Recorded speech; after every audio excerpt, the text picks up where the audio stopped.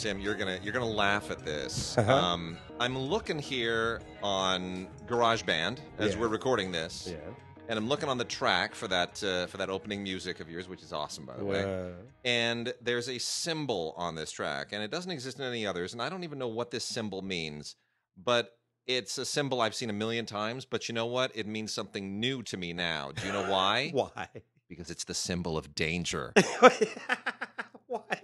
It's the danger Will Robinson symbol Oh, that the, yeah. the, the robot does Oh, is that Space. is that is it? it oh It is exactly that symbol. I'm looking at it and I'm like, that that this is creepy. Wade this and is I really are creepy. both uh, seriously into the. You- what is that? Netflix? It's Netflix, man. Netflix, Lost in you, Space, dude. And you, tur- you know, you're you're the one that told me because I I said we have to fill everybody in on this first. If you have not yet watched Lost in Space on Netflix, just do it. Yeah. Just do it. No matter how dumb you uh, remember that original nineteen what sixties or seventies 65, 65. series was, you were correct. That that series was dumb. Oh wow! It was just, you know, the look, the original show was just every episode of the original show. And we were just talking about this. Every Irwin Allen said it'll be a Swiss Family Robinson in space, which of course it never was. And the 1998 movie wasn't that either. Everybody Yeah. kind of lost track of that was the original idea. Let's sort of take this classic story of a family and survival and blow it out into the space age. Uh, but they never actually did that. The new series does that for the first time. It's finally honoring that premise, and they went back to the original unaired pilot and they developed it from that. And I think it's just genius. It's beautiful what they're doing with this show. The so cast, many people doing excellent work, including uh, Parker Posey uh, playing Doctor Smith, uh, kind of So good. and and she is just so good. I thought it was going to be so bad. I was like, "Do we really need Lost in Space again?" And you told me. I was sitting here said- watching You, you told me. You said, "Dude, watch it. You're going to love it. It's just it. It's firing on all cylinders, and it uh, it's a terrific show. Yeah, I gotta give them very, very, very bright. Uh, Yeah. it, it, it, it's thinking. You, you know what's clear?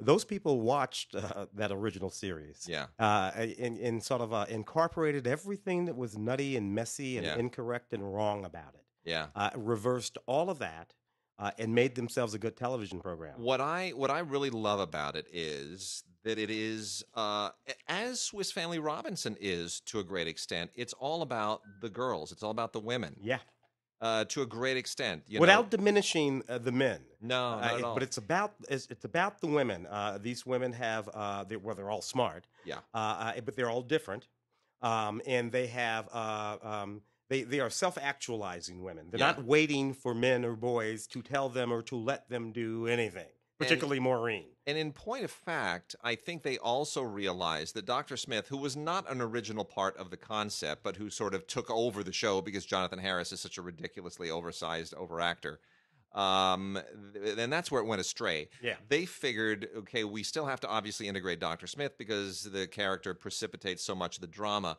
But let's face it, Dr. Smith on the original show, Jonathan Harris notwithstanding, was a girl. he was He just was a girl. And, and you could- so and you could get away with that in 1965. and you could. So what they did was they replaced him with a girl, but they didn't make her a girl. girl, yeah, yeah. That and see that's really smart. Um and uh, and I they took the notion of a sociopath yeah. and they let it and, they- and, and, and they and they let it play. Oh, Uh, uh, completely. But but they don't but they don't make it. She's not insane. no. Uh, she has No. reasons. She has a worldview which she articulates at several points, one in particular. And uh, even if you don't like her, even Yeah. if you don't share her worldview, you do have to give her props. Oh, you have to go. That ain't crazy. No. that ain't crazy at No. all. No. Yeah, but there you Yeah, go. Oh yeah. man, good stuff. Anyway. Anyway. how, how we get on that? It's uh I'll tell you, I'm just I I it's you know, there are there's a lot of junk on Netflix, but you you, you sift through it and you, you you do find some good stuff. Now I got to now I got to watch that western. What's the western called? Uh, you talking about Westworld? Or that's no, HBO? no, no, no, no. There's a western Oh, the one with um uh, Michelle uh, Dockery. Yeah, and all that. Yeah, Yeah, which- yeah, I've which- heard about that. Face my Facebook feed keeps uh, keeps punching me in the face with clips from it. It looks amazing. So, Uh, is uh, that Godless? Is that the one? Yes, that's it. Yeah, Godless. Godless. Yeah, yeah, yeah, yeah.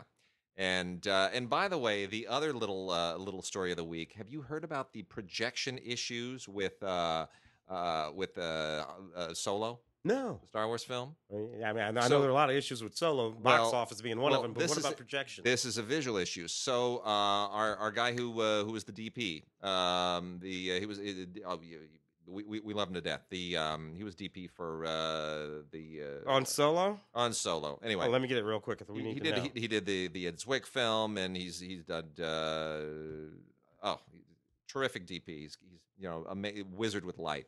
So uh, he's he's a, he's he articulates a lot of stuff with low light. He's been really heavily experimenting with low light situations, uh, especially with digital, because he can get apparently more. He can get richer light sensitivity out of digital than he's ever been able to get out of film. Hmm. So uh, that's why Solo has so many sequences, especially when you're you're in uh, Lando's lair and everything is very dark. He's really he he really tried to make certain parts of it very very dark, very low light. Bradford. Brad, yes, Bradford, of Yes. course. Arrival and, and, Yeah. and Selma. Yes, and- Arrival, yes. So- so- violent year. Bradford Young. Bradford Young. amazing. Yeah. amazing cinematographer. So he he's experimenting with a lot of low light, but it's revealing just how many theaters are not up to snuff. Their their projection standards are lacking because they've they've their their, their bulbs or their projectors are not bright enough, and a lot of people are saying I can't see anything on the screen. So Interesting. yeah, but it took it took it, took this film to expose that there are literally hundreds of screens that are not meeting uh, standards for for uh, for bulb brightness. Uh, not enough lumens. Not enough either. Actually, uh, uh, the bulb not bright enough, the Right. projector not strong enough to project that movie at the Correct. brightness to, be projected at, even though he deliberately deliberately. thought of That's uh, right. who, who, who shot uh, uh, the Godfather.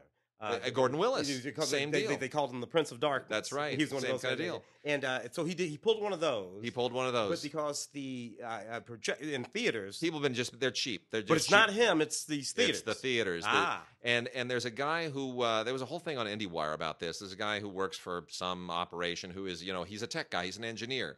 And he's mad about this, and he's not naming any of the theaters because he wants to contact the technical personnel at the theaters Mhm. and raise the issue with them, which is a classy thing to do. But I still want to know the theater. You know what it is because it could be something as cheap as not changing the bulbs on proper schedule could be. because they do diminish over Yeah. over, over, over but hours. there's but there's really no ex- and, and there's also there's also the issue of you know there, there's engineering there's math involved in this which is a certain brightness of bulb a certain throw to the Mm. screen Mhm. and a certain kind of screen the screen has to have a certain reflectivity as well Mhm. that matches the bulb i mean All you got all these things have to sort of work in tandem but let's face it if you're if you have digital projection those are cheap bulbs Yeah. that bulb is going to cost you like 40 50 dollars tops May, maybe maybe one or two hundred dollars tops as opposed to those insane bulbs that 35 millimeter projectors Mhm. have which cost like like uh, $1200 to replace one of those bulbs they're insanely expensive They would last for years. those arc they're- yeah, bulbs, yeah, those, arc bulbs, bulbs, yeah. the- the- those things. I mean, they last for years, but they're crazy expensive and they burn super hot,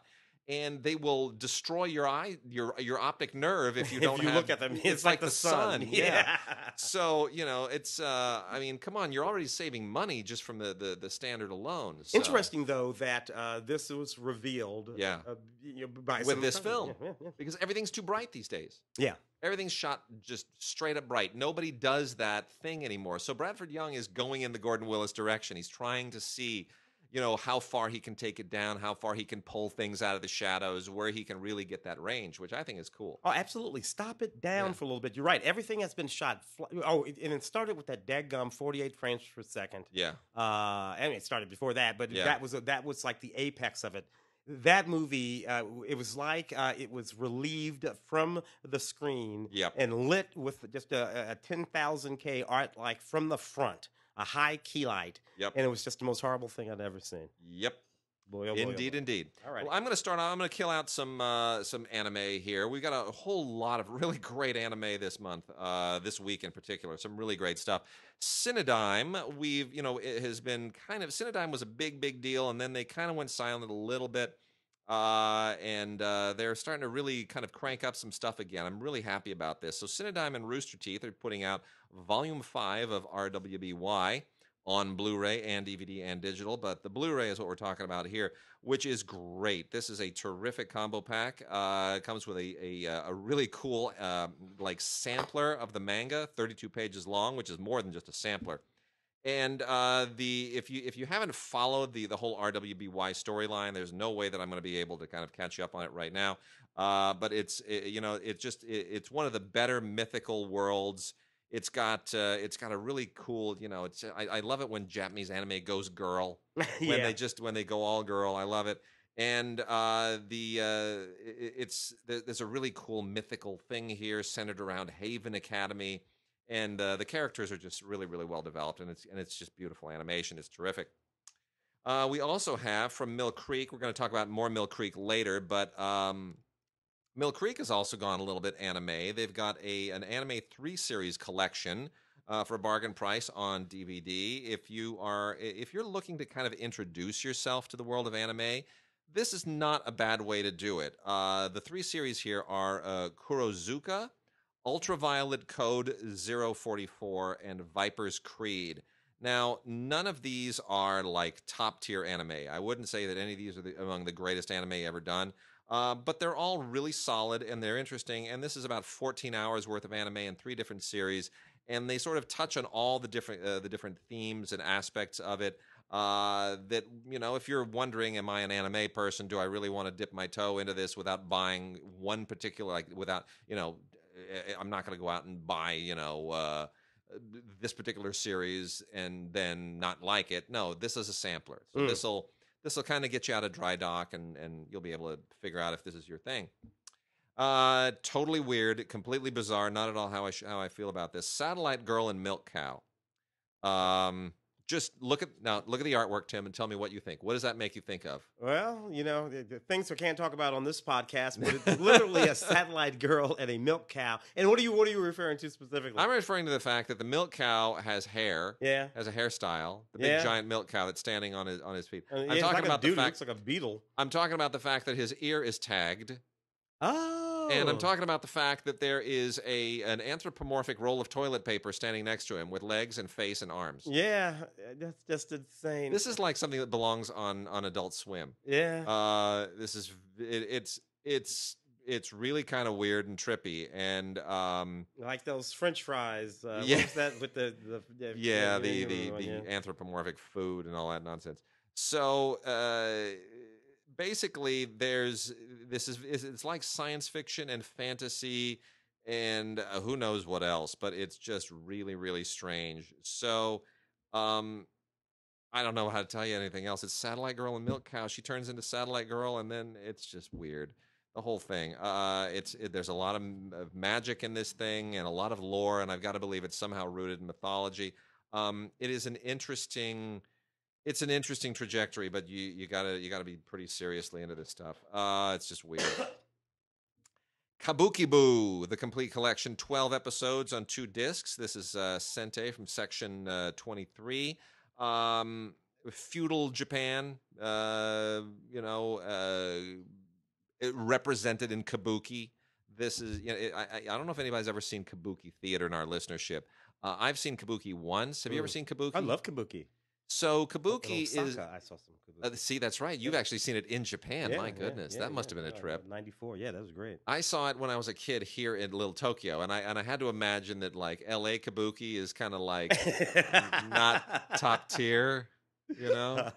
Uh, it's it's like it's this. We're gonna do this for for white people. Let's just make them feel. I don't know. It's just weird. But um, it, it's From- there's something Gilbert very and Sullivan kabuki. That kind Sure. Of, yeah, yeah. Uh, so anyway, the the thing about kabuki is it's um it is kabuki in anime is um a whole different deal. Kabuki live is really dramatically very very interesting, and I actually almost like it in many respects better than Peking opera if you're talking about a particular style of of Asian performance art. Um, it's a little bit more accessible uh, at least to to Western dramatic sensibilities, but it still kind of has one. It's still connected at the uh, at the hip to things like uh, Peking opera and, and other other ancient forms of Asian stage performance. In any case, um, Kabukibu is uh, an anime tale that sort of uh, uses that backdrop to spiral out a uh, what is one of these kind of high school dramas, and it's kind of half an, a tribute to Kabuki and half a way of reinventing the Japanese anime high school drama. And uh, I, I'm not sure how I feel about that either. It's uh, it's really interesting. It's really an- interestingly animated. Can't say that I really connected to it in any great way, but um, it's it's definitely taking anime into a new direction.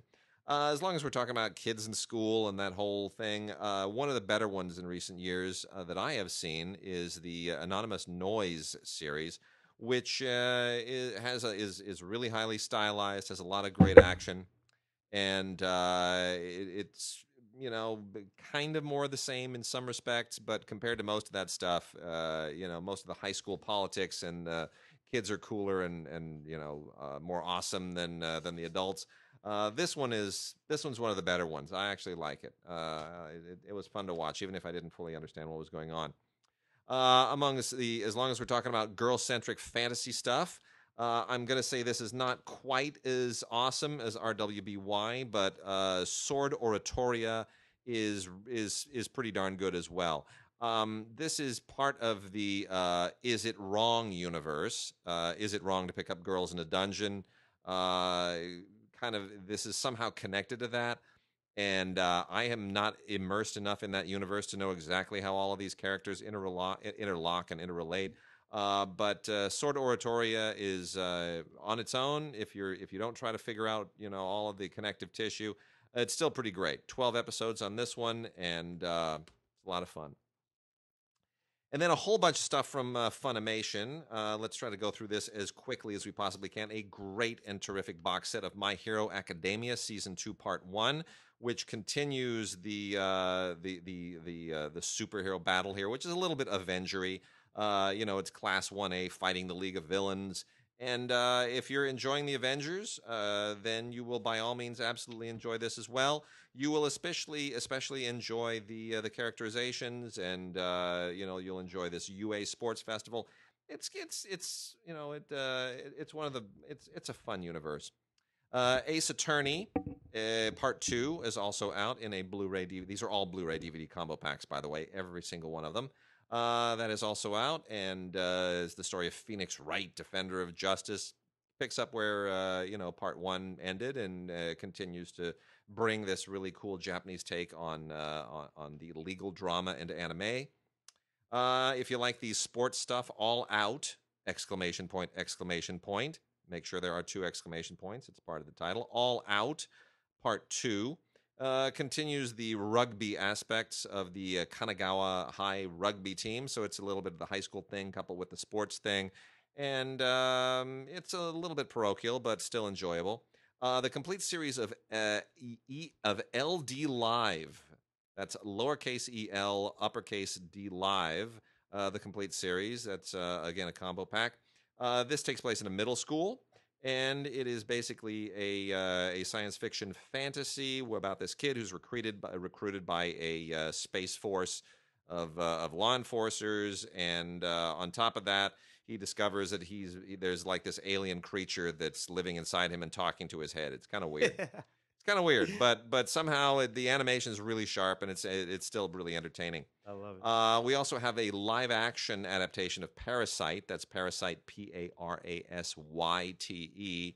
Uh, Parasyte parts one and two, the live action version, um, which is you know basically like a, a alien parasite invasion stuff. Uh, it's you know what it's um, it's okay. It doesn't work as well in live action as it does in anime. I gotta say. Uh, Tsugumomo, the complete series, is. Uh, it, I, I, may take a little bit of research to get into this one. Um, this uh, this is a fantasy world, and uh, there's all kinds of magic and Harry Pottery kinds of rules going on that I never made much sense of. So that was hard to get into. Um, I'm going to do my best to pronounce this one. Boy, this is really hard. This is uh, this is also middle school politics in Tsukigakure. T S U K I, and then I'm sure you can fill in the rest. Uh, Tsukigakure. Uh, it's uh, you know, it's uh, basically kind of junior high politics and life, and uh, and these kids, you know, in love and romance and friendship, and it doesn't go into any uh, fantastic places. There's not a lot of genre genre work going on here, so uh, don't expect any any genre stuff. Um, and then we also have uh, Miss Kobayashi's Dragon Maid, which is completely insane. It is entertaining. It is funny. I'm not sure how much of this is supposed to be funny, Uh, this is Japanese humor, really at its most obscure and weird. Uh, when you wind up having people like as dragon having dragons, ser- like literal dragons, work for you. They're your servants. I love it. It's- like I mean, it's a literal dragon maid. It's not like oh, she's a maid who's like a dragon. No, it's a dragon that's a maid. It's totally bizarre. It's really weird. They when they when they take their drugs, man, the Japanese do not mess Yeah. around. Uh, and then uh, this one is a whole lot of fun. Show by Rock, season two. Um, think of this as the Japanese anime version of Josie and the Pussycats in outer space. That's all I can say. Josie and the Pussycats in outer space, one of my all-time favorite shows. I love Uh, that. It was the best. And uh, this is about, you know, it's not even Josie and the Pussycats. This is Plasmagica, the girls of Plasmagica. and uh, and they have to save Sound Planet. It's just so it's just so off the wall. It's so brilliantly bizarre and cool. And uh, that's it for all of those. So uh, a lot of fun anime and uh, Funimation and Section uh, 23 and all and Viz Media. Uh, they're all doing really really great work these days. So uh, anime is one of those spots where, despite all the uh, the move away from Blu-ray and DVD, they continue to really pump out great stuff. It- So yeah, it's all very cool. Some It's all very cool. Wicked cool, just in in in in, in, concept. It, it, uh, there's you know. but there's some of it's really off the off the edge. I, I, I I'm sure there are narcotics involved. Uh, as will be in the films I'm about to talk about because it's gay cinema, which is a ridiculous thing to say. I have no idea why I said that. Although uh, it, it's probably true of this movie, uh, A Place to Be, which is a lovely movie by uh, Tadeo Garcia. This particular movie is just sort of con- uh, contemporary romance between these two young men. Um, um, uh, who've been sort of like passing each other uh, for a while, and they sort of finally get together. One's name is Abel; he's a social worker, and the other one is an auto mechanic. His name is Di- uh, Diego. Um, as is the case often today, uh, their relationship sort of comes into question when one of them has a immigration status problem. You can think about these movies. Uh, you remember it was, it was the Visitor from a couple Sure. of years Yeah, yeah. You know, and so this is like one of those, only set sort of like in the gay world where it still sort of matters. You know, It does actually. That's important. interesting. I actually, it, and you know, there is a there is actually uh, because I know of instances where this has happened, and I can just see ice knocking on my door saying "spill the beans." Uh, but uh, I know of cases where uh, gay men and women have become what we can basically call uh, immigration mules. Yeah. where they where people who needed to get papers it's like sure i'll marry you Yeah. uh it's like green card right oh yeah. uh, Gerard Depardieu. Yeah, yeah. One of the first junkets I ever did. yeah and uh, Ah. it's a it's a it's a there there are situations that, where that will happen and uh and there's a, a surprising amount of that that goes on in the gay community as Yeah, well i yeah. i in fact because i know of i know spec- of specific instances that i can i can cite Yeah, I got a few of those myself. yeah so. Uh, TLA releasing, uh, Iconoclast film. So that's kind of a neat one. Uh, Russian Doll. This is a neat little thriller, too. Uh, yeah, sort of a, a lesbian uh, thriller, but nevertheless a neat little movie just in and of itself. The, the neat thing about some of these films is, despite other than the fact that they happen to be uh, set uh, in, in a world where mo- uh, most of the characters are gay, uh, some of these movies are just neat little movies. This would be one. This is a very sexy little um, edgy crime thriller. Uh, a young woman uh, finds out that there is a, a plot for murder. She's literally about to, you know, drop drop a dime uh, when she gets Yeah. abducted and disappears. nice Another cop, a young woman, has to come in and try to figure out what happened to the first woman. oh that's great Uh, uh, and uh, you know, so you, you you end up in one of these with a little mystery on top of the mystery. Uh, these things are, of course, all connected, and since it's a uh, lovely lesbian drama, there's a hot lot of you know naked girl stuff going on too. So you get the you got the neat little thriller and your hot naked lesbian sex. I love it, and I think it's fantastic. Um, this is from this is from Wolf. That's Yeah. from Wolf. That one is from Wolf. Uh, Boy Undone. Uh, this is another uh, very powerful little movie too. Uh, a couple of young men uh, uh, meet at a, at a at a gay club, and the next day they get together and uh, um, and and, uh, and and have themselves a moment. Uh, and when they wake up, the first boy finds that the second boy has no recollection of who he is. He did the previous night, and it's a real thing that had that's actually going on. What goes on in the rest of the movie, sort of thing. Anyway, this is in Spanish with English subtitles. Again, a neat little thriller. No matter how you sort of shape this, if this didn't happen to be a, a gay couple, you'd still dig this movie, and you'd want to know what the heck was going on. Uh, so you know, uh, from TLA as well. Uh, and then this one is a neat one too. Uh, let's see who this is. This is from uh, Dekkoo. Uh, uh, this is three short films, right? Mhm. Okay, three short films about uh, what happens when a couple, a gay couple in this particular instance, allows a third person uh, into their relationship for a night of fun.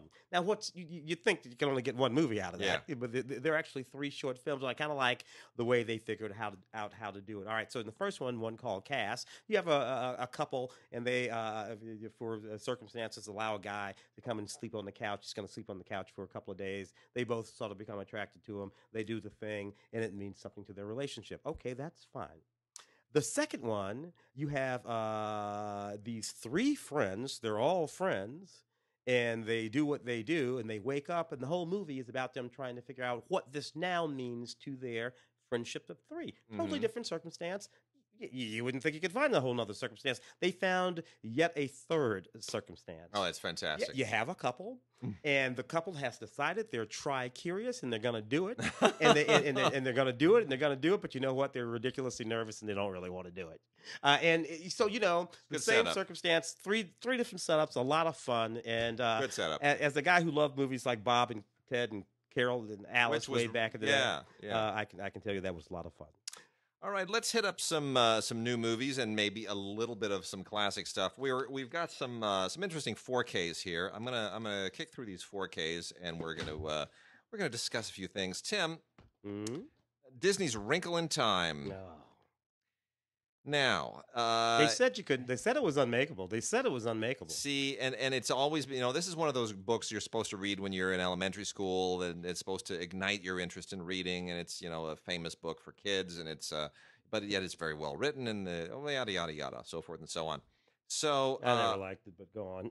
Yes. So so here's the thing. Disney always wanted to make this, and uh, they they figured, uh, you know what? Let's uh, we now have Ava DuVernay, who's a celebrity director, and let's throw this her way and uh, A little Oprah and see it, and see if she can do it and get Oprah to sign on to this. And uh, uh, honestly, all I could think of was, "Yep, it's, un- it's unmakeable." Yeah, they were right the first time. They were right the first time, and it's nobody's fault. Nah. Uh, i- i- everybody is just they're working overtime to try to make this thing work, but they're they're fighting the limitations of the book. Hmm Yeah, and and and and I I can see what uh, Miss Duvernay decided to try to do. She simply decided to like, like ignore a lot of the content in the book and, and Yeah. put her own spin on it in terms of look and style, and, and and hope that she could just overwhelm the material with originality or some sort of a, a Yeah, vision. I'll put yeah. this way with a, with with a particular style. Wi- yes, yes, Uh, and and no, it's just like David Mitchell's Cloud Atlas, a, a wonderful book that I Same love. And thing. everyone said they can't do it, they can't do same it. thing. And those sisters went after it, uh, the Wachowski sisters, uh, and Tom Hanks and Halle Berry. You know what? And and and Tom uh, Tykwer and, Tom, and yeah, oh, yeah, yeah, yeah, Hugh, Hugh Grant, the whole the whole thing. And you know what? They were right the first time. yeah. Can't be done. Not, Can't be done. This one here too. It's uh, some things just they they need to stay in print. Uh, but I mean, a, it's a noble. I don't want to even call it a failure. A noble effort. Mm. It's uh, it's an interesting film.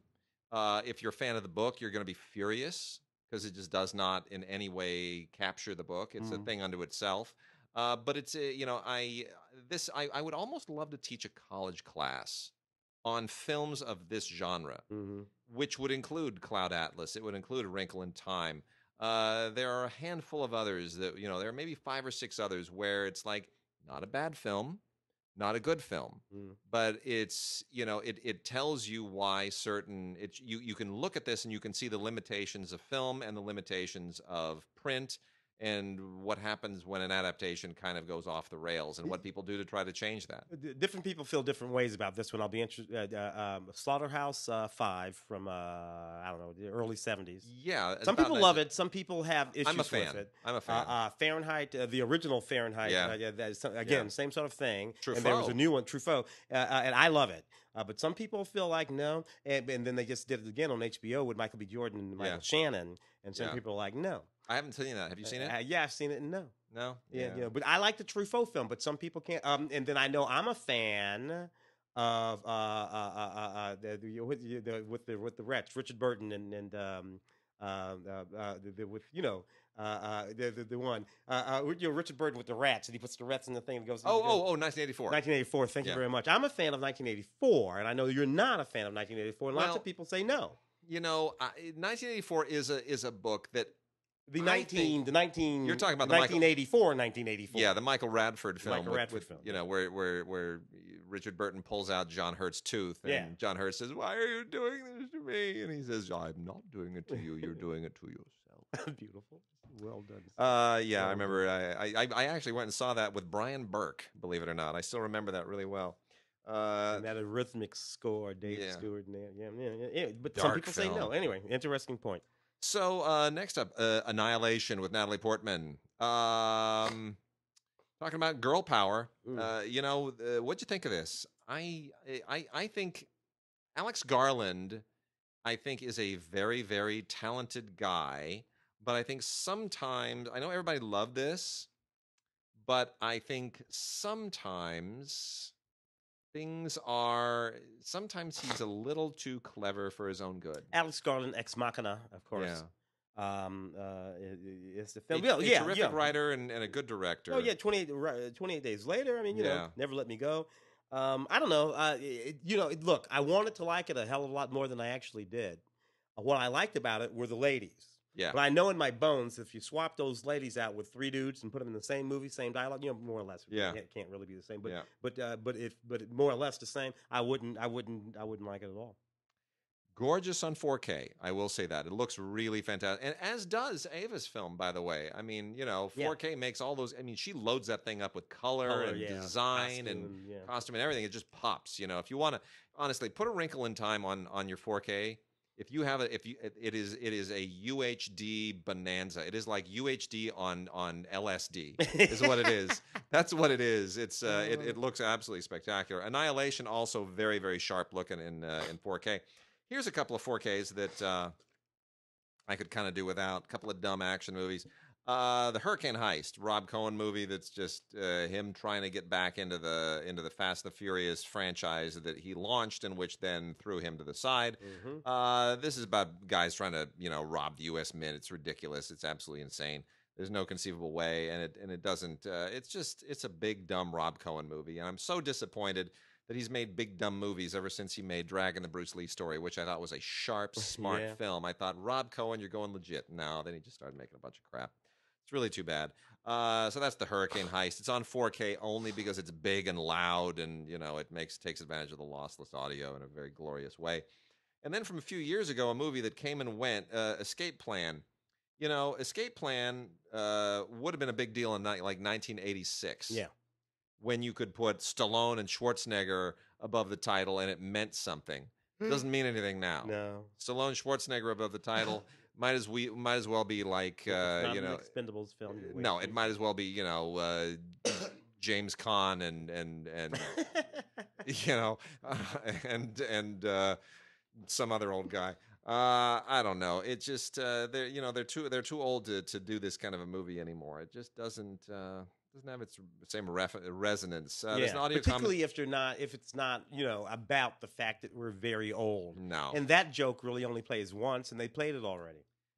And and you know Mikael Håfström, who uh, directed it, does a commentary with Miles Chapman, co-writer, which is perfectly fine. And there's some featurettes on here. Uh, doesn't really belong on 4K as like a like an A-list thing. It's I don't know why they decided to kind of pump that one out. Uh, I'll tell you what is pretty cool, although I could do without a couple of these, is uh, the four movie 4K limited edition of the Jurassic Park 25th anniversary collection. You get Jurassic Park, The Lost World Jurassic Park, Jurassic Park 3, and Jurassic World. I'm sure, as everybody now knows, I despise Jurassic World. I think it's an absolutely horrible film that just takes the original Jurassic Park and uh, swaps characters out for new characters, does much of the same stuff again, except badly. Yeah. Bad special effects, bad script, not a good movie. I know it made a ton of money. I know Universal is totally invested in it, and we're going Oh to have to God, suffer through another one this Special summer. rides and uh, so, and and and I warn people: don't think this is the last time that a 4K set of this is being released. In a in about seven months, you're going to have a five film box set yeah, just in time for the holidays, yeah. and uh, it'll it'll include the new one. Uh, so I wouldn't you know be too invested in this. Um, look, the original Jurassic Park is still a great film. Looks tremendous in 4K. Really, really a wonderful transfer. Uh, they include the six-part documentary here on Blu-ray, uh, the uh, Return to Jurassic Park.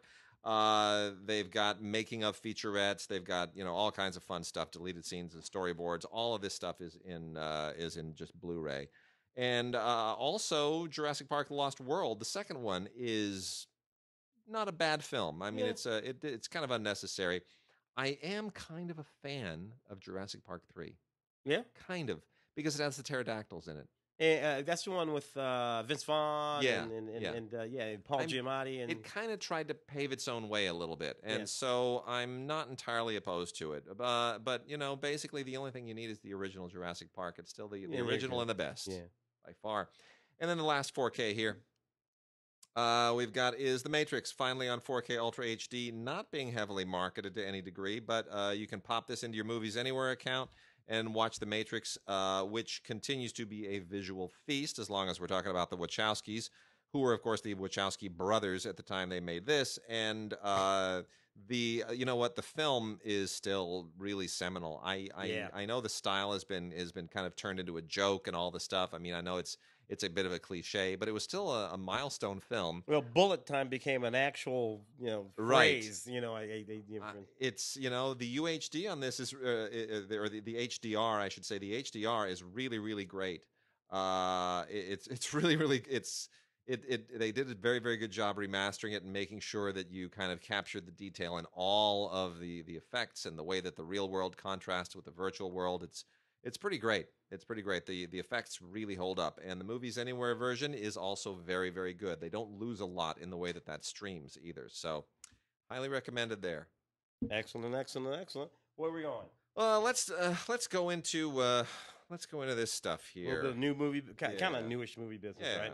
Uh, so Bruce Willis, Death Wish, that Death Wish series with Charlie Bronson from the uh, early '70s. Yeah, uh, was an extraordinary series. Uh, yeah, at that time, there was a, there was just a context in which that movie, and of course, you had uh, uh, Clint Eastwood's Dirty Harry series uh, running at the same time, um, and there was a context in which those movies sort of worked.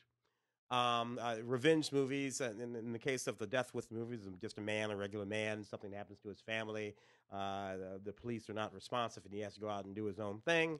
Uh, and the Charlie, the, the the the Dirty Harry movies were a bit more problematic because he was a cop uh, who had to you know take things as, into his own hands. The, so so here we have uh, Bruce Willis in a remake remake of Death Wish. yeah, You know, in and of itself, as just a sort of standalone movie, it's okay. It's an Eli Roth film, of course. hmm Uh, and Bruce Willis is just about the right guy. He's probably the only guy that I can think of really who can pull this off. Maybe Denzel, uh, uh, to a certain extent. Uh, but this is this is just Death Wish, uh, just a remake, straight up, uh, reimagining is what they call it of the 1974 revenge thriller. Uh, he's a surgeon. Uh, and something happens to his to his wife, played by Elizabeth Shue. Love me some Elizabeth Shue uh, and his daughter. Uh, they're viciously attacked. Uh, you remember in that original uh, Death Wish film, film, one of the attackers of the family, you, you, you know who one of them was? Oh, I I Uh, don't uh, remember. Uh, Jeff Goldblum. Was he really? Yeah, and, he, and Oh dude, my he's God. playing it so crazy. He's playing it crazier than all the other. I've got to go attackers. back and watch Watch again. Watch that. He's tall. He's always, he's always tall and skinny. He has all this hair, and Yeah. he's just playing it completely insane. See, I man. love I love that stuff. I especially um, uh, the Graduate, right? When uh, when Norman Fell is is saying to Dustin Hoffman, "Uh, "What's going on in here? I heard a scream. I don't like hearing screams." And then you see this head pop up over his shoulder. Go, you want me to call the cops? Want me to call the cops? And it's Richard Dreyfuss, young Richard Dreyfuss, and that's the only thing he says in the movie. It's just hysterical. And who would have known that? You know, just uh, just uh, like a decade later, he'd win Best Actor. Yeah, it's just There you, is. You, you, you, just troll around old movies, you see neat stuff. This has a commentary with, with uh, Eli and uh, producer Roger Birnbaum. So you know what? If you're into the whole scene, that scene, this is an okay movie. It still Yeah. works as good as the old one. Uh, so here's a movie called Every Day, and uh, boy, I want to be fair to this. I really, really do. Uh, but here's the problem with it. So, Every Day is based on a novel, and I, I, I, I, I think the problem is that the novel itself is derivative. I, I really would love to believe that these people are, uh, well, that that lightning can strike twice, but I don't. So here's the story.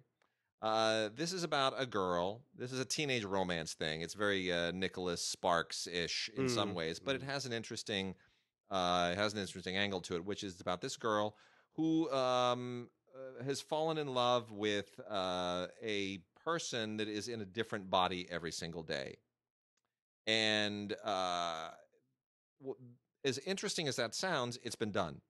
And here's the problem. In 2012, this was originally a, uh, a web series called The Beauty Inside, Mm. which was not very good. I remember. I remember. Did we talk about this on the show? I think you was you and I. We did because Yeah. because The Beauty Inside was remade as a Korean feature film a couple Uh-huh. of years ago, which I think was number four or five on my top ten that year. Yeah. because it's brilliant, Extraordinary. Yeah. incredible. And the Korean film, The Beauty Inside, basically took a web series and said, That concept is great. Your execution sucks. You don't see the poetry in this. Mhm. We are going to take this concept. We're just going to borrow this, and now we are going to uh, we're gonna we're gonna work this the way that it needs to be worked. And that Korean film is amazing. This kind of schmaltzes it all up again and pretends that it's from this novel. I, I, I, I did not research when the novel was published, but I find it very curious that uh, this is all kind of in the mix at the same time. So, kind of hard to believe that the novel Every Day didn't completely rip off uh, The Beauty Inside, regardless. Anyway, Inter- interesting thing, the lodgers with an S, not the Alfred Oh, Hitchcock yes. thing. Uh, this is this is actually uh, sort of interesting. This is one of those sort of dark, sort of uh, uh, insidious sort of movies set at the turn of the century or so. You have these uh, sort of kins, uh, twins. Sorry, they live in this sort of gothic uh, mansion uh, that is uh, inhabited by a, a, a, sinister presence that comes out at night, and it's punishing these twins uh, by making them uh, not allow anyone to cross over the threshold of the Right. place, and they have to be in bed by midnight. And This whole sort of thing. They're just living this sort of uh, life of misery. Uh, and then a a a, uh, a veteran uh, comes to the home uh, and sort of falls for Rachel, and they start to break all the rules. Uh, and the sinister Oh. presence has to do the stuff it has to do. Anyway, it's actually a very dark and uh, dastardly film. It has the feel of one of those sort of lovely uh, 1960s sort of uh, uh, 13 ghosts uh, sort of uh, situations. Uh, you know, a neat haunted house film or something like that. yeah. Uh, neat stuff. Plus, lots and lots and lots of special features behind the film, behind the scenes uh, documentary, deleted scenes, uh, various, just all kinds of neat stuff. So check it out. It's actually quite a neat thriller if you're into that sort of thing. Uh, so I got a couple of uh, a couple of IFC midnight horror films here, which are both perfectly serviceable, um, and and in some respects uh, a lot of fun. IFC Midnight, uh, I mean, they have the production value that kind of elevates them to a different uh, level. So The Midnight Man is an adaptation of an Irish film from 2013, which is also included on here. By the way, this is a Blu-ray, just a straight up Blu-ray, not a combo pack. Uh, the Irish, I think the Irish film is better, honestly, but it's fine. Uh, you get them both here, so you don't have to uh, you don't have to choose. Um, it, it's and it's also really really nicely shot. It's really it's pretty great widescreen. So make sure you have a big TV for it. So I don't know who Travis Z is, but Travis Z did the uh, directed and uh, and adapted this, and um, the it's kind of uh it's I don't want to say it's a parody because it's not a parody, but it definitely riffs on a lot of horror uh, horror archetypes, certain tropes that we see a lot in horror films, Mm-hmm. and it does it with a little bit of a wink, but it doesn't go completely into satire and and scream style mockery. Uh, it really uh, it it just sort of has fun with it. It says we're one of these kinds of movies Mm-hmm. and we know that you know that, so we can wink at each other, and now let's have fun. And uh, Robert Englund shows up in this because he has to be in all of these kinds of things. Uh, and uh, it's uh, it's one of these uh, one of these things that kind of um, uh, the midnight game itself that it references is like this ancient pagan thing, this uh, this ancient ritual Mm-hmm. and uh, it all it, it all centers around kind of a in a seance type way unleashing the spirit of uh, the midnight man. Uh, you know, I, And- got, I love that concept. The yeah, like and- the Candyman. Yeah and kind of it, and it's uh, you know there there are a lot of it's i mean you know pretty much where it's going to go but it's still kind of fun. Uh, the other one is devil's gate which oddly enough is not about a gate and it's not about the devil.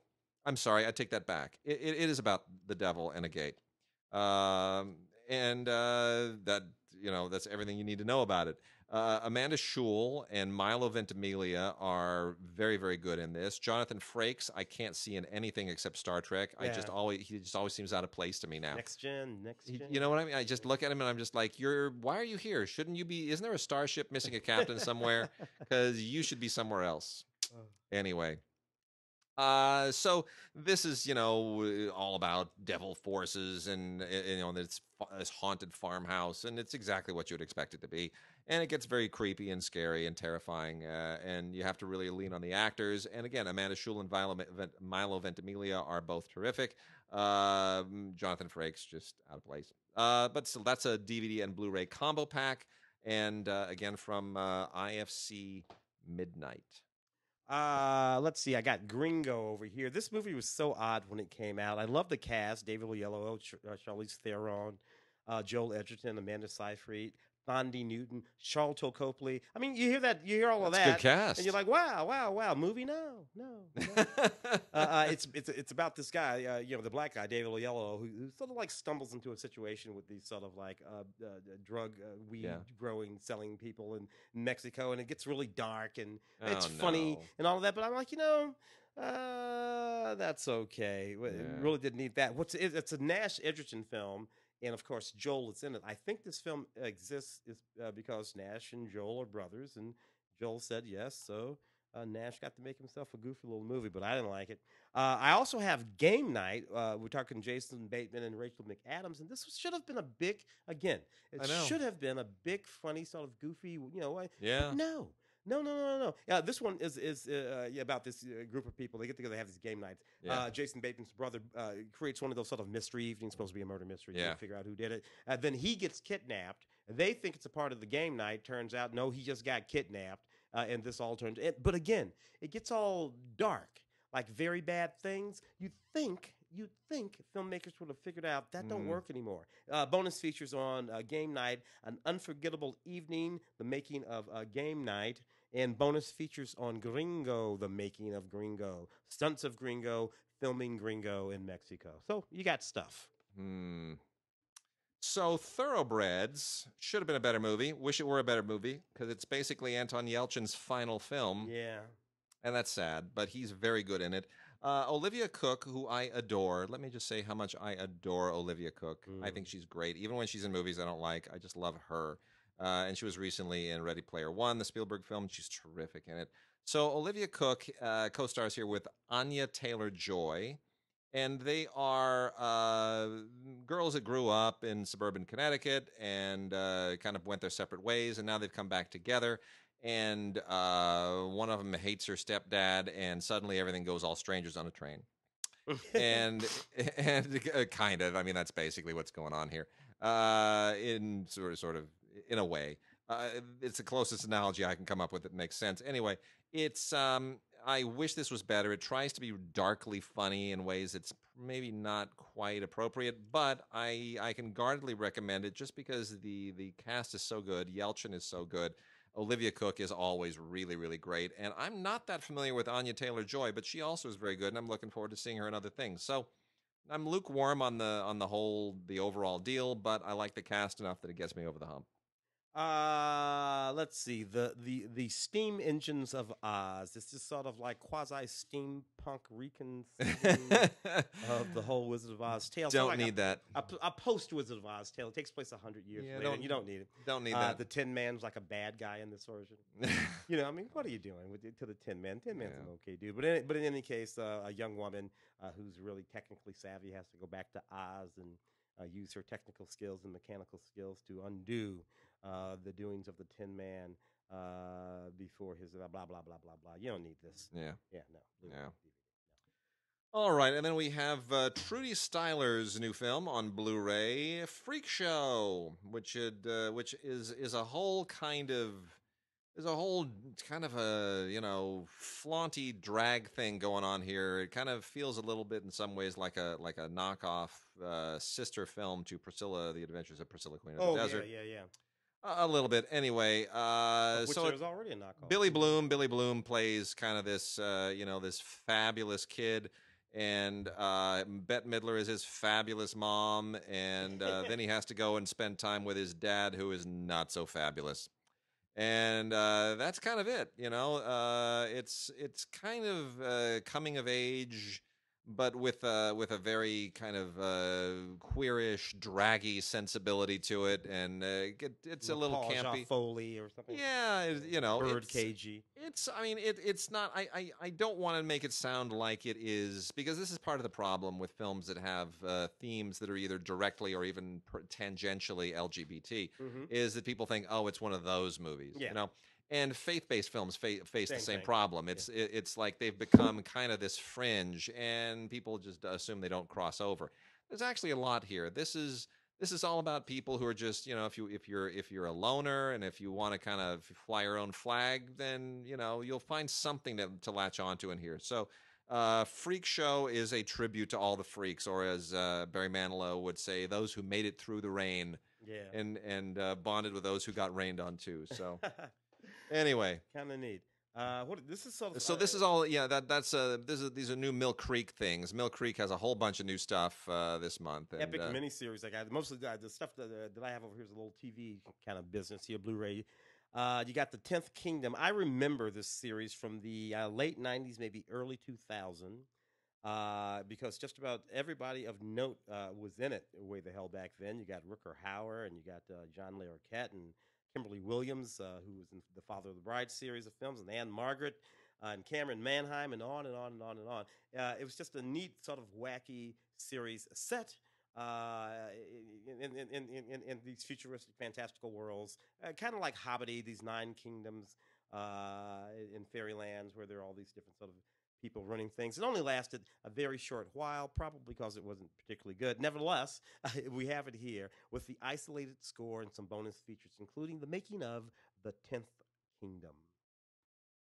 Uh, got some good action stuff from Mill Creek. Mill Creek has um, uh, so here's what here's what's going on. There's a there's a very good movie that didn't get enough credit at the time, and now that it now that Dwayne Johnson is a bigger hit of a star, you might want to go and rediscover Gridiron Gang, Mm. new, new on Blu-ray from uh, Mill Creek's Mill Creek Special Edition. A lot of great special features here, commentary uh, with uh, with the director Phil Joanou and uh, and the screenwriter uh, Jeff Maguire. Um, other bit in here now. Phil Joanou's career went a little bit south some years ago Yeah. after you know he was the hot thing, and then he made you know uh, what was it Three O'clock High, Yeah. did that rattle and hum and a few other things, and then just didn't didn't really kind of flamed out. This is actually a good film. It's well done. He kind of restrains the style a little bit. The idea is about a bunch of kids, delinquent kids, uh, at this camp. Dwayne Johnson is their inspirational coach, Mhm. and how he, you know, football becomes the thing that gives them purpose in life and, and a way of turning their lives around. We've seen this movie a million times, but you know what? There's a reason Yeah. because it's a really great concept and it's all centered on the characters. Yeah. And if you can make the characters work, that as predictable Well, as that what story is, say about sports movies. Mm. There are sports movies that are about the sport, and there are sport That's it. movies that are unequivocally and absolutely not about the sport. that's it. Uh, and uh, generally speaking, the it. ones that are not actually about the sport are the better sports. and that is this one. In Yeah. fact, uh, look, it's it's based on a true story, and uh, it it it the characters are strong, and that's all that matters is that you're connected to the characters. And Dwayne Johnson shows his stuff here. He's a terrific actor. If you want more than just that movie.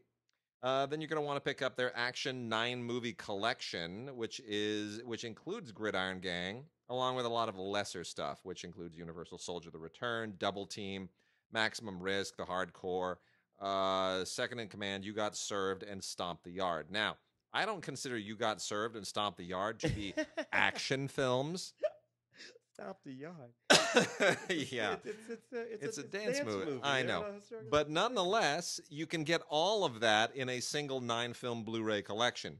Uh, and there's a lot of Van Damme on here, to be honest. It's it's it you know Maximum Risk and Double Team and Universal Soldier: The Return and the Hardcore and Second in Command are all Van Damme movies. So they should have called this just the Van Damme box Oh, set yes, that's it. and with a Dwayne good. Johnson movie and a couple of dance movies thrown in for good measure. Uh, but they didn't. They call it the uh, Action Nine movie collection. So look, I mean, it's uh, you know, it's it's it's Just know inexpensively you're gonna get that dance movie in your action movie collection. Yeah. and then they also have a uh, they also have a, an action triple feature, which include this is just on DVD, not on Blu-ray. This includes Vehicle 19, which is crap, Junkman, which is crap, uh, but you know it's HB Halicki, and it's uh, it's uh, there's a certain cult value to that. And Go, which is terrific, and Go is a really good film directed by uh, Doug Liman, and uh, it's kind of fallen off the radar a little bit, but it's a great, great movie. I So always love that movie. it's a terrific film. You know, the sharp little uh, Sarah Polley. Yep. Uh, I- Our- might our good my- fri- yeah. Our good friend Stephen Mirrione Yeah. uh, d- edited it before he went on to win an Oscar for uh, for Traffic and to do you know all kinds of other great films for uh, for Soderbergh. so. Yeah, yeah, and, and really weird because Doug would go on with all those uh, Bourne movies. yeah, But he starts with the kind of little movie there with the it. Yep. Uh, interesting stuff. Uh, Magic, the magical legend of leprechauns. Uh, this is interesting. I remember this series, uh, uh, which was uh, a, a movie which was completely nuts. Although the cast was insane. Um, so it's about this guy played by uh, Randy Quaid who uh, moves his family to this Emerald Island, right, where he inhabits this little um, uh, cottage that uh, has leprechauns in it and he makes friends with these leprechauns, and they hang around doing all kinds of wacky leprechaun. Let me tell you something: Colm Meaney, Kieran Culkin, Roger Daltrey, and Whoopi Goldberg are in this. Whoopi Goldberg wearing some crazy, I suppose, uh, black leprechaun outfit. Uh, I you look, you tell me. I have no idea, but there it is. Uh, it, it was it was it was it was nutty as heck. Two hours and fifty three minutes worth of Randy Quaid and Whoopi Goldberg running around. Whoopi Goldberg in a, lepre- a leprechaun outfit, nuts. it's weird to me to think back and think that Randy Quaid and Whoopi Goldberg were in a movie together. yeah, yeah. That was normal for that moment in time, but now I look back and I feel like that's a time warp. And then at the end of the day, Randy Quaid would be the crazy one. Who'd have thunk? Who'd have thunk? Whoopi would be on anyway. Uh, Seth Seth Meyers and Mike Shoemaker's uh, series, The Awesome, uh, The Awesomes, uh, the complete series, right here in my hand. This is really really cool. Uh, Thirty episodes, uh, all three seasons, bonus trailers, promos, and all that kind of stuff. Is yeah, obviously the neat little. Um, animated series about uh, a group of superheroes who have these wacky of superpowers and don't actually do anything to save the world mostly funny stuff, irreverent, a little bit blue. Not the kind of thing you want to let the kids watch, but the Awesomes Complete Series, Blu-ray and digital. Nice. I have got uh, this version of Mysterious Island, Jules Verne's Mysterious Island, is directed by Russell Mulcahy. I Oh gotta my tell you- gosh, was it really? Oh yeah, d- d- bruh. uh, First of all, it's uh, you, you got uh, Kyle MacLachlan, you Gabrielle Anwar, you got Vinnie Jones, you got uh, Patrick Stewart in this version. Um, this is Jules. You know the the guys they're, they're Yeah. in the prison camp and Yeah. during the Confederate War, the balloon comes and they yeah, all of that. So uh, um, and Russell Mulcahy and uh, dude, nineteen eighty There's, there's another director who just kind of fell out of out of out of everyone's is. graces. and and, and and and probably a while ago. But I frankly, Russell Mulcahy and uh, Highlander, of course, Yeah. 1986, and before that, create some of the most uh, important music videos of all Yeah, time. You yeah. know, was Russell Mulcahy at the beginning of sort of music Yeah. videos and all that kind of stuff. And anyway, um, this is really sort of neat just to see in general Russell Mulcahy sort of knocking it out in a classic uh, Jules Verne uh, story, Mysterious Island. Uh, a couple more box sets here. Nothing that you know is really gonna. I mean, you know, this is all sampler stuff. So there's a Crime Time TV box set from Mill Creek, Hot Streets and Cool Cops. This is if you just, you know, you don't need a whole series. You just want uh, uh, just a taste of some cool stuff. So they give you Miami Vice season one on DVD and they give you Knight Rider season one on DVD, and then uh, twenty just assorted episodes of whatever, uh, you know, Dragnet and Dick Tracy and Sherlock Holmes and just a whole bunch of other stuff. This is just you know if you want to have something to throw on TV and uh, during a party and keep people distracted and you know something to talk about. There you go. Get yourself the uh, Crime Time Hot Streets and Cool Cops uh, box set, and it'll do the trick. And then we also have the uh, five family favorites. Try to say that 20 times uh, fast. Five family favorites. I don't know if these are really family favorites, to be honest, uh, but they are. They are actually movies that uh, may be favorites to some families somewhere. So here are the movies. Are we there yet with Ice Cube, which you know is cute. I, I still think Are We There Yet has. has- I, I, think it's fine. I, I love that. Yeah, it's a cute film. Uh, he, you know, that's Ice Cube when he's getting into dad mode and trying to shed his uh, his his sort of angry De- gangster de- de- persona. De-gangsterizing. de gangster. I call I call it the de-gangsterization of be- Ice Cube. and he became a dad model. He's like the new Bill Cosby, and Bill Cosby is now more more Yeah. more more gangster than he ever all, was. all I know is I'd much rather leave my kids with Ice Cube than with Bill. Co- if you had asked me that in 1998, who'd have, I would who'd have thought that answer would change? oh my gosh. Where are you going to drop your kids off? Ice Cube's house, please. Uh, the other movies on here include Bandit and the Saints of Dogwood. What? It's not a family favorite. I never even heard of this movie. Uh, the Big Goofy Secret of Hidden Pines. What? I don't even know what this is. It's something to do with a baby Bigfoot, and it's very weird and strange. Uh, the Last Day of Summer, I I have some vague knowledge of, and then the last one here is North, which is not good.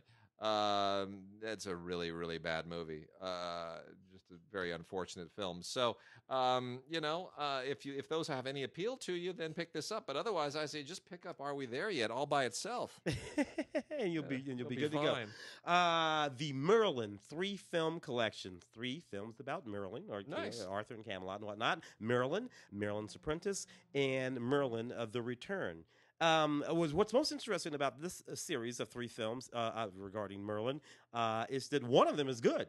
Um, uh, it's, it's the and it would be the 1998 film Merlin, which is really not even a film; it's a television series, and it stars Sam Neill and Miranda Richardson and Isabella Rossellini. And knowing that right there tells you why it's pretty damn good. Uh, I remember actually watching that film back in 1990, that that series back in 1998 when it was when it was airing. It was quite good. And then uh, Merlin the Return 2000. Uh, I, I I remember this, uh, and and the thing that I remember about it, this is 2000, is that Lancelot uh, was played by a young Adrian Paul. Mm-hmm. Uh, and uh, and uh, Patrick Bergin played uh, King Arthur, so that was a pretty solid movie. That middle film, Merlin's Apprentice, 2006, is not a film; it's a television series, 185. Um, to be honest with you, can't remember it at all. Uh, and uh, as I look it up and, and look at these names, Johnny Reardon, uh, Jennifer Calvert, I don't know any of these people. Uh, but uh, somehow they got themselves cast in a film about Merlin's apprentice, and or uh, so uh, good for them. Uh, but three, the three film Merlin collection, two of them. Uh, one of them is good. Uh, one of them is interesting, and the other one I never heard of. well, the last three this week, uh, these are all from Paramount. These are all TV shows, and we are giving them away. So Ah. say thank you, Paramount. Yes, Paramount. Say thank you, Paramount. We're going to give these away. So here's what we're giving away. Um, the Shannara Chronicles season two. We're giving away one. Mm. Now here's the here's the hitch. These can only go to United States addresses. So to our listeners overseas, we apologize. Uh, Paramount has asked that these only be uh, that the that you have to have a U.S. address to uh, to receive these. So for whatever rights reasons, whatever's going on. So uh, here's what we got: Shannara Chronicles season two. If you are interested in receiving one copy uh, of the Blu-ray of Shannara Chronicles season two, we're only giving away one, so there will be one winner. Send us an email to gods at digigods.com or gods at cinegods.com with the word chronicles s at the end. Please chronicles. Don't misspell it. No funny spellings. No like k-r-o-n-y k-l no no z's. Just chronicles. C-r-o-n-i-c-l-e-s and uh, send that to gods at digigods.com or gods at cinegods.com with your name and address in the body of the email and uh, this is still a really good show. Yeah. Uh, I, I got to be honest. I thought I wasn't sure if the season one would kind of peter out. Season two is a very interesting show. It's very girl centric, and that's what I like about it. Yep, same here. And uh, I like the fact that it's doing that uh, that that kind of magical Lord of the Ringsy thing in its Mhm. own way. Mhm. It's finding its own path there. It's not imitating Lord of the Rings. It's not imitating uh, Game of Thrones. It's not doing any of that. It's sort of finding its own path, and uh, the cast is good, and they're sharp, and they're good, and we're giving one away. Mhm. We're also going to give away two copies of the 21st season of South Park on Blu-ray. South Park So- is finally old enough to drink. South Park is old enough to drink. That's bad news for Cartman. Oh. Uh, anyway, the you know this show somehow continues to just because they just take on the headlines yeah, every week. They sit down and they just say, "What was stupid this week? Let's Yeah. make fun of it." what can we be dumber than? What can we be dumber than? And they just stay right on top of the headlines. The opi- opioid epidemic, Uh, you name it, it's just whatever it is. They are all over it. They are on top of it, and it continues to be a really, really smart, smart show. Uh, mini commentaries on all of them with Trey and Matt, and uh, they are always really fun. They're they're a little bit less profane than they used to be when they're when that first season. Do you remember that in the first season? Damn Their com- Cartman. their commentaries were so profane Yeah. that Paramount had to release it separately. It was not actually on the Blu-ray. You had to put it play it on your CD player and, and sync it up. It was ridiculous. So uh, yeah, the, you know North Korea gets a gets a gets a jab here. Uh, They they just they're terrific. Uh, so anyway, great season. We're giving away two of these. So uh, send that email to gods at digigods.com or gods at cinegods.com. Name and address in the body of the email, and in this subject line, just put Cartman. Cartman. Cartman.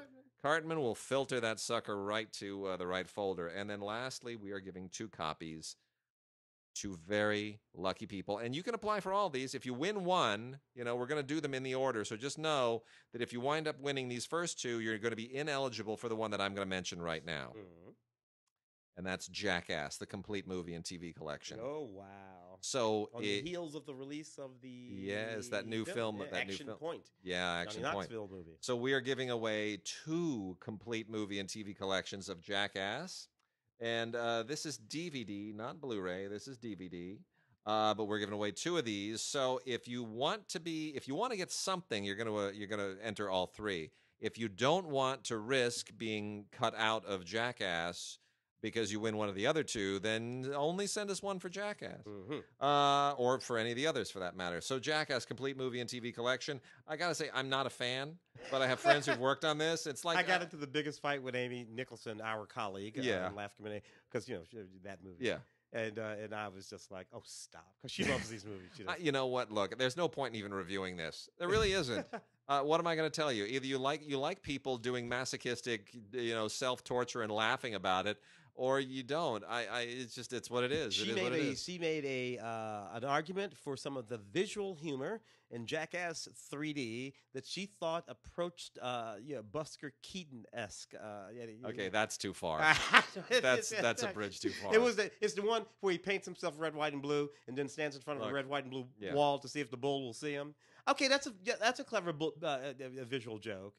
But the movie's like 120 minutes long, no, so no, you know, the rest not. of it's just falling down. Part of this is, I mean, I will, I will be honest. So anyway, send us an email to gods at cinegods or gods at digigods.com uh, with jackass in the subject line, name and uh, address in the body of the email, and two people will win that. All of these contests, we're going to give you more time this time. All of these must be received. Time and date stamped no later than Monday the 11th. We're mm-hmm. going to give you till Monday the 11th, the whole weekend, because we know a lot of people don't get around to listening to the podcast till the weekend. So, well, you got until Monday the 11th to get these in. And uh, we're going to have some very happy listeners, uh, thanks to Paramount. American addresses only, U.S. addresses only, unfortunately. So, um, but I will say this, and just closing this out on Jackass, uh, because I grew up with a lot of Jackass friends. uh, you know, the people who would do things on a dare. I have one friend, I love him dearly. But, you know, truly, if, Yeah. if you said to him, and this is when we were in high school, and I doubt he'd still do it. But if you had said to him, uh, "Here, I just uh, mashed up an olive and I put it into this glass with ketchup and mustard and a few torn up pieces of paper and uh, you know and, and and some hot sauce and uh, and a and a pickle," I dare you to take a spoonful and hold it in your mouth. I will pay you a quarter for every second you can hold it in your mouth. He usually made about eight bucks on that deal. you know, it's it is what it is. The Ah. one time, the one time he didn't pull it off was uh, we were at a place called Pizza Cookery. Mhm. I don't even know if it still exists. It's a little pizza place, the kind where they have you know the broken up peanuts on the floor and all that kind of deal. Right? Try to be rustic. Let's Yeah. just litter the floor. And uh, we're sitting in a booth, and one of our friends opened up the the uh, Parmesan cheese, which of course, as you know, Parmesan cheese it comes in one of those shaker things Yeah. at a pizza place. It's like it's more sawdust than it is Parmesan. and he put and he put it onto a onto a tablespoon, and he said, he said, "I dare you to hold this in your mouth for ten seconds and then swallow it." and he said, he goes, "I'll pay you." Five dollars if you can do that. Ten seconds. Five dollars for ten seconds, holding that in your mouth and then That's swallowing an it. hour's worth of work back in And 1983, folks. Yeah, and he said, he said, oh, I'll totally do that deal. And so he takes that spoonful, puts it in his mouth, and of course, Eh, over the course of 10 seconds, it absorbs every single last drop of moisture in his mouth. And before he could even try to swallow it, he just started choking. And he started he started hacking and jagging, and he, he was going to try to do it. And then finally, he just he he yacked and he coughed it all out on top of another friend sitting right across from him. It was the biggest spit take I've ever seen. And there was a couple on a first date in the booth next to us. I think we made their date. they were laughing so hard. I, I think I think they had more entertainment than whatever movie they went and saw, which was They're married now and they have kids as old as you guys were then. Probably Yeah, doing the same lot kind of older. wacky crap. That's right. Anyway, all right, that's it for this week. We will see you guys next week.